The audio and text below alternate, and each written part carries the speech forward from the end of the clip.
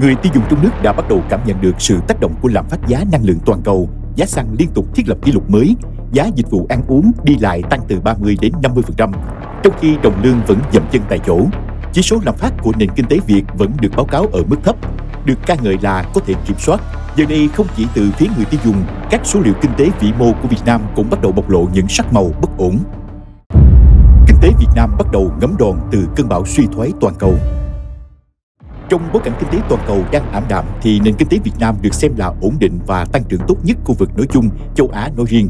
Nhưng nền kinh tế duy nhất đón ánh mặt trời khi cả toàn cầu chìm vào bóng tối cũng đã bắt đầu ngấm đòn trên các lĩnh vực. Theo số liệu từ Cục Thống kê Dân số Hoa Kỳ, hàng dư xuất khẩu sang Mỹ của Việt Nam năm 2021 là 90 tỷ USD, 4 tháng đầu năm 2022 là 36,6 tỷ USD.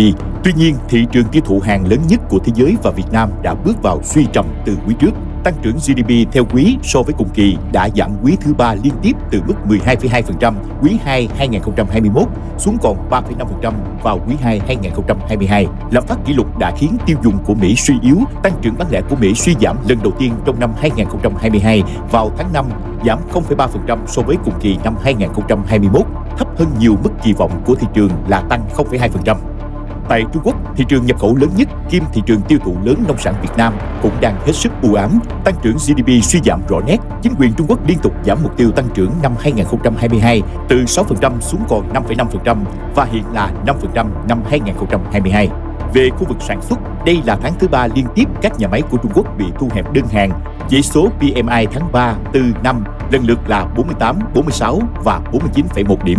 Các rủi ro này đến từ chính sách Zero Covid, phong tỏa các thành phố công nghiệp, thương mại lớn. Doanh số bán lẻ của nền kinh tế so với cùng kỳ năm 2021 suy giảm mạnh 3 tháng liên tiếp ở mức âm 3,5%, âm 11,1% và âm 6,7% trong tháng 3, tháng 4 và tháng 5 2022. Khu vực kinh tế châu Âu, thị trường tiêu thụ hàng xuất khẩu lớn thứ hai của Việt Nam cũng đang xa lầy trong cuộc khủng hoảng năng lượng leo thang bởi cuộc chiến Nga-Ukraine ngày càng khốc liệt. Sản xuất công nghiệp ở các khu vực dùng đồng euro giảm 2 tháng liên tiếp, âm 0,5% vào tháng 3 và âm 2% vào tháng 4. Con số âm 2% là mức giảm sâu nhất kể từ tháng 10 2020 do những hạn chế trong chuỗi cung ứng trở nên tồi tệ hơn bởi chiến tranh Nga-Ukraine và tình trạng phong tỏa cực đoan ở Trung Quốc. Thị trường cổ phiếu Việt Nam đang lao dốc. Tính đến ngày 15 tháng 6 2022, chỉ số VN Index giảm khoảng 21% so với mức đỉnh thiết lập trong tháng 4 2022. Tổng giá trị huy động vốn qua thị trường chứng khoán từ đầu năm 2022 giảm hơn 30% so với cùng kỳ năm 2021. Trong đó, phát hành trái phiếu chính phủ giảm tới 55% so với cùng kỳ do lãi suất phát hành chưa cao như kỳ vọng của thị trường. Tổng trái phiếu chính phủ phát hành khoảng 63.000 tỷ đồng, phát hành trái phiếu doanh nghiệp đạt 192,5 nghìn tỷ đồng, cũng giảm đến 44% so với cùng kỳ. Do chịu ảnh hưởng của thị trường chứng khoán thế giới giảm mạnh, các ngân hàng trung ương lớn tăng lãi suất và thắt chặt chính sách tiền tệ do áp lực lạm phát tăng mạnh. Điều đó dự báo tốc độ tăng trưởng lợi nhuận doanh nghiệp niêm yết năm 2022 giảm so với năm 2021. Theo thống kê của công ty chứng khoán VN Direct, tăng trưởng lợi nhuận quý 1 2022 của doanh nghiệp niêm yết đạt 33,2%, thấp hơn quý 1 2021 gần 60%. Công ty quản lý quỹ Raren Capital dự báo lợi nhuận doanh nghiệp niêm yết năm 2022 tăng 25,1%, thấp hơn năm 2021 42%. Giá xăng Việt Nam cao kỷ lục Kể từ năm 2021 đến nay, giá dầu thế giới liên tục leo thang một cách chóng mặt bởi rất nhiều lý do như sau. Chiến tranh Nga-Ukraine leo thang khi cả hai chưa muốn đàm phán. Nguy cơ bùng phát Thế chiến thứ ba đã được cảnh báo.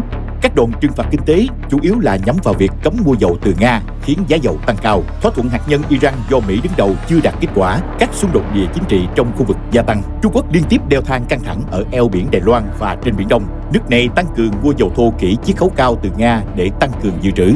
Mỹ đánh mất vị thế an ninh năng lượng quốc gia vì đang áp ngành khai thác nhiên liệu hóa thạch trong nước để chống biến đổi khí hậu, trong khi bên ngoài thì áp dụng chính sách ngoại giao gây hấn với Nga, loay hoay với Iraq. Những chính sách như thế khiến cho Mỹ không thể thương lượng với đối tác các nước xuất khẩu dầu mỏ OPEC cộng trong việc tăng sản lượng. Nền kinh tế lớn nhất thế giới buộc phải dùng dầu dự trữ chiến lược quốc gia để giảm nhiệt khủng hoảng năng lượng, nhưng kết quả không đáng kể. Dự trữ dầu chiến lược của Mỹ chỉ gần 2 năm dưới thời Tổng thống Joe Biden đã giảm xuống mức thấp nhất trong 35 năm qua. Dù với tất cả lý do trên, giá dầu thế giới hiện vẫn chưa cao hơn giai đoạn khủng hoảng 2008, giai đoạn xung đột mùa xuân Ả Rập năm 2011, chiến tranh chiếm Crimea năm 2014 của Nga và Ukraine. Tóm lại, giá dầu thô quốc tế chưa hề lặp lại kỷ lục cũ, dù đã cao đến mức khiến cho mọi nền kinh tế đang trở nên mệt mỏi.